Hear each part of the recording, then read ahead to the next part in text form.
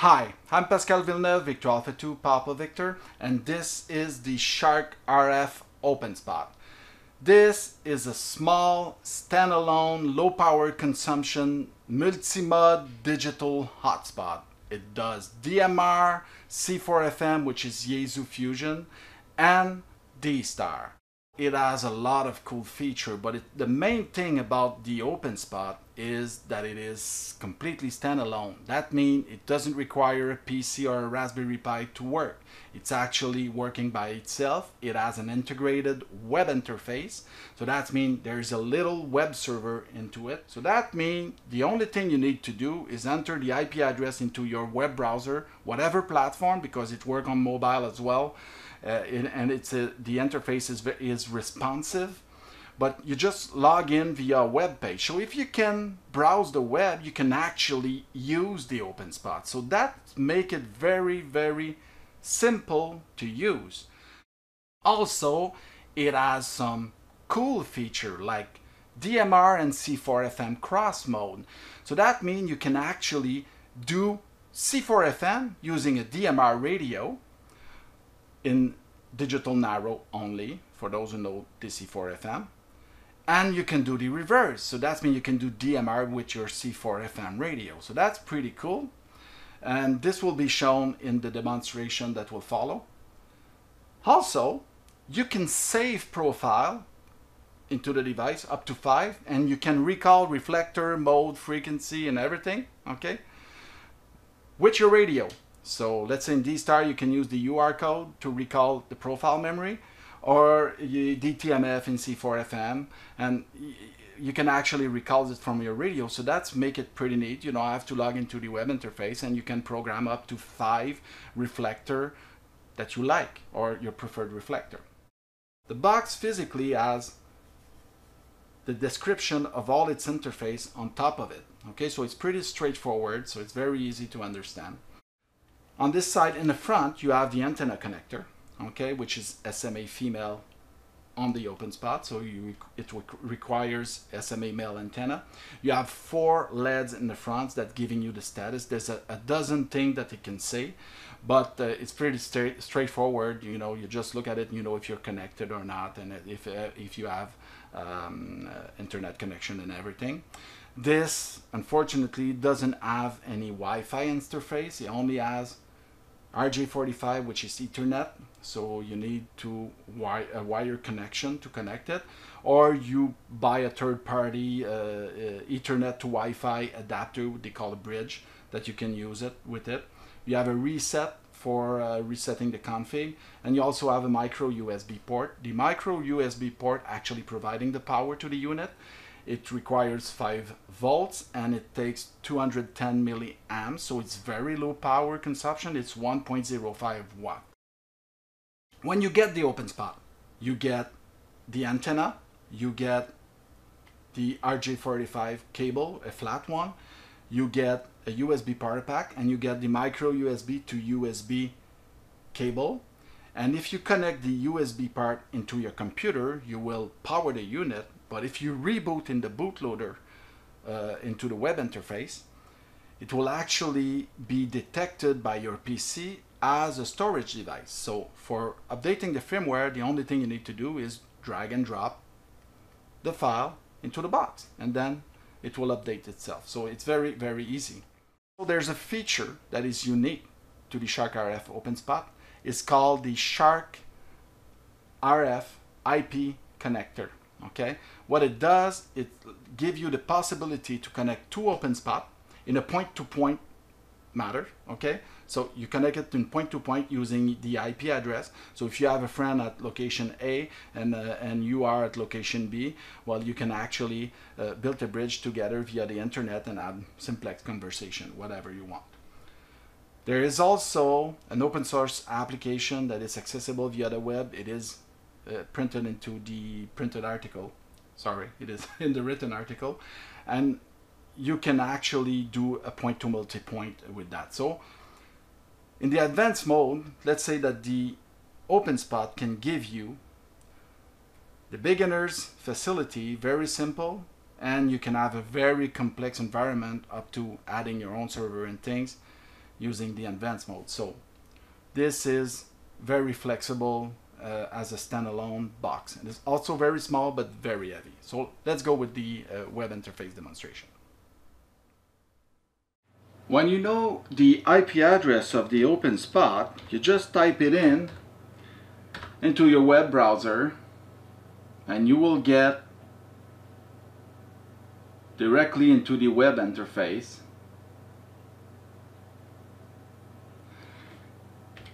you enter the password easy it's open spot. That's the default password. And when you get in you get this status page that will give you the information about the last transmitted station transmit station sorry. And you will have like the software version and you know the hardware version etc and some information about the network and the traffic. You have actually uh, three other tabs which is connectors. This is where you connect to select the mode. So I'll do it very quickly. It is now in D-Star okay? XRF but you have DMR D-Star and Fusion. You have the point-to-point -point connector and you have the DMR calibration. So what we're going to do is look at the HT on the table and I'm going to switch between the mode. Okay, so hold on a second. I'm going to go up, well, I'll make sure I'm in D-Star. Then you just switch and already have a reflector selected as you can see. Connected to XRF 01 fade alpha. Okay, so if you click save, usually it will connect to, so you can switch the modem mode right here, but you save usually to go to the reflector. Open spot connected to XRF01 fade alpha. You also have the gateway, then you will have some call sign like I showed in the written article. When I want to connect to V2 VPS, it's right there in the list. Okay, E2 uh, VPS is right there.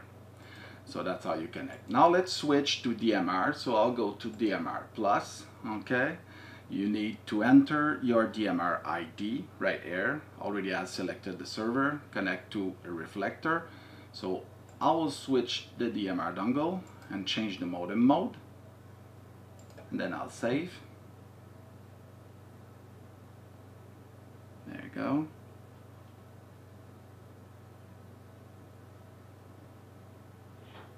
five, eight, four. There you go. And then I'll switch to Fusion. Okay, so then I need to enter the frequency because I didn't set it up. 446275. Okay, I will cut and paste since it is a simplex frequency. And then I will go in FCS 03. Hold on a second.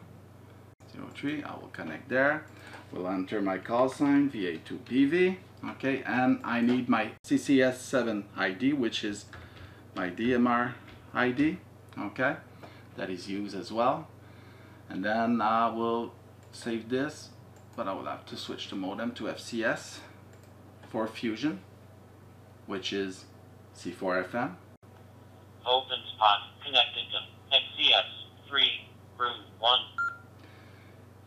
it's easy like this. So if you can browse the web like I said, well, you can use the open spot. Okay, let's do C4FM with a DMR radio using the OpenSpot cross mode function. You see in the connector here on the web interface, I'm connected to FCS, which is Fusion, and I have this frequency enter, which is the frequency of my DMR radio, the TYT that you see on the screen okay, and all my information. I'm already connected. And the modem is in DMR, but the connector is in C4FM, okay, because FCS is System Fusion, which is C4, C4FM. You can do the other way around, so put the modem in C4FM and put the connector in DMR. But what we're going to do is I have this radio, this C4FM radio, connected to another hotspot that is connected to FCS 003 port 01 as well. So I will save air and you're gonna air the TYT. Open spot connected to FCS 3 room 1. So just confirm that it is connected to the uh, FCS server as well. So there will be interference, maybe feedback between the two radio while I do the, the, the cross mode. It's just to show you because both radio on the, same, on the same band and they are very close to each other. So let's transmit with the DMR. VA2PV testing. Okay, so the interference made it not sound very good. VA2 PV testing. VA2 PV testing. Okay, better on this way. Let's do the other, just get it further. VA2 PV testing. VA2 PV testing. Oh, a little bit feedback. So this is cross mode. This is how the profile recall works with the radio. So let's start switching from D star to C4 FM and then we'll do the other way around. Open spot profile for ready. Open spot connected to FCS 3 room 1.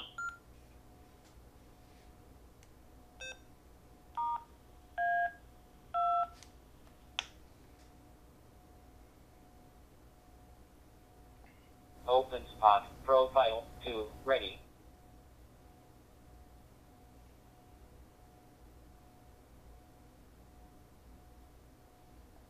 Open spot connected to XRF018 Alpha. In conclusion, the Shark RF OpenSpot is a small, standalone, multi-mode digital hotspot. It offers the simplicity for the newcomer but as well as the flexibility wanted by those advanced users. I'm Pascal Villeneuve, Victor Alpha 2 Papa Victor, and I would like to wish you my best 73s.